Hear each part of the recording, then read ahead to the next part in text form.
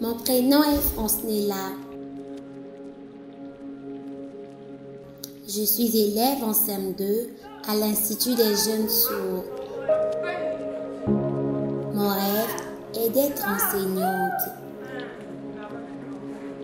Les enfants comme moi ont besoin d'être soutenus pour continuer à venir à l'école avec des kits scolaires, mais aussi une cantine à l'école.